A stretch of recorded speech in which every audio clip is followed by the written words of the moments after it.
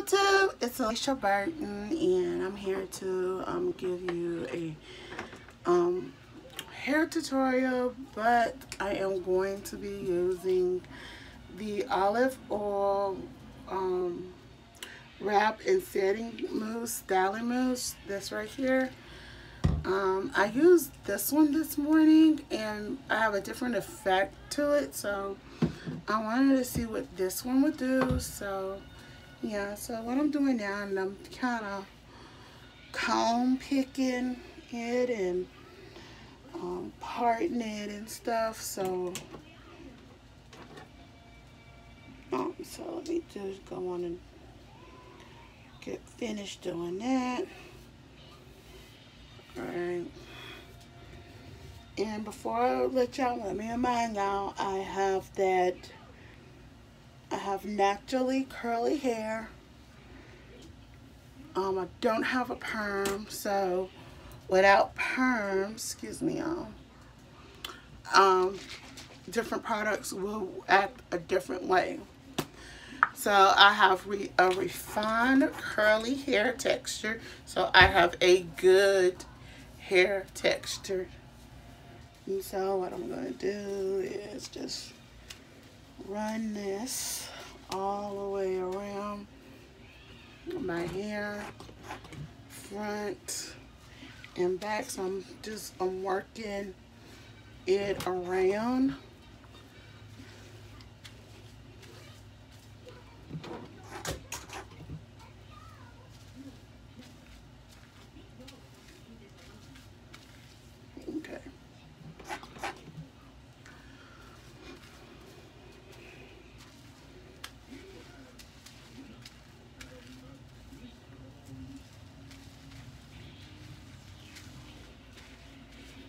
So we're gonna do that.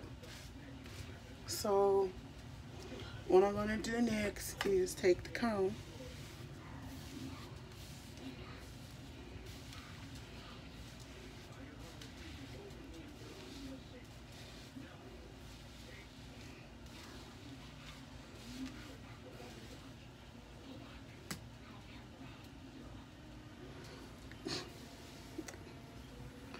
if you hear um of a TV. I'm sorry about that. I have my I have my niece out here and she's watching She-Ra, Princess of Power. So yeah.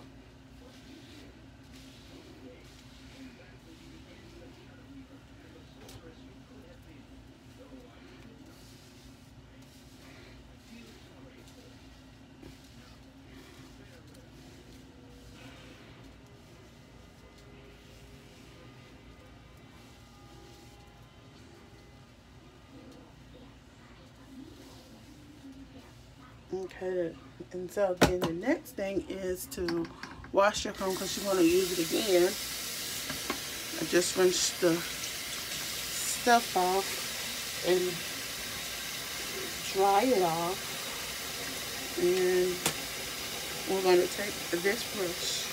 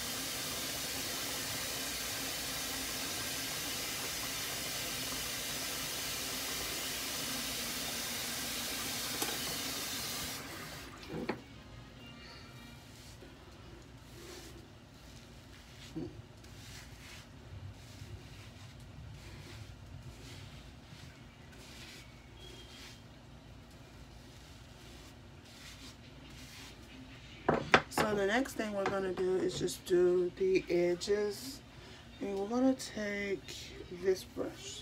It's more of a softer brush than the other brush.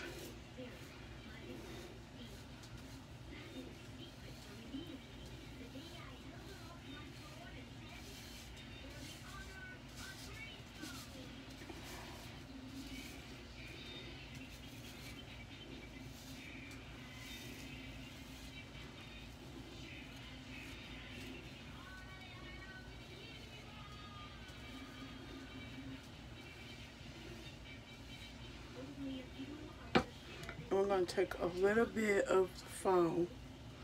We're going to do this.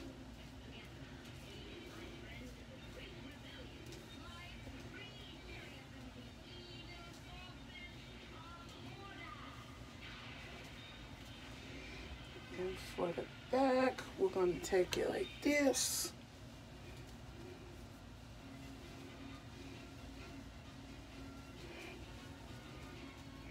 Back is going to be more curly, but yeah.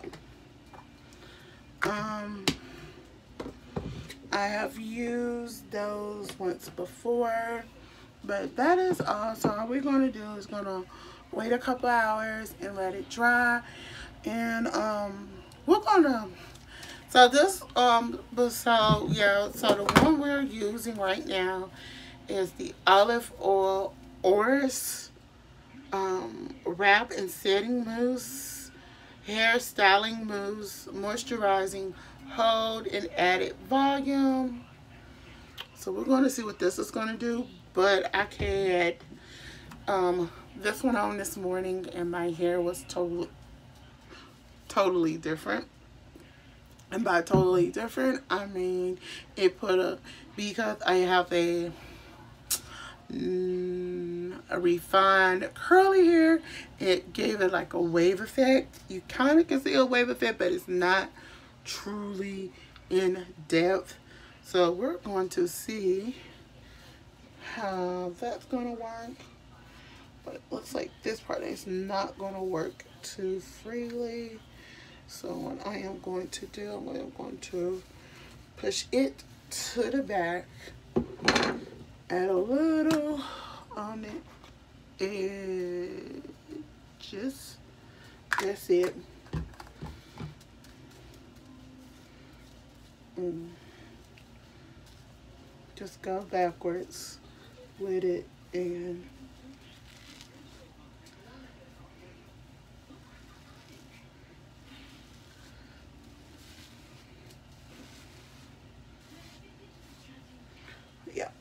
but that's it um we're going to see what it's going to how it's going to react later. Until then i'm alesha burton. Don't forget to thumbs up this video comment below and subscribe to my channel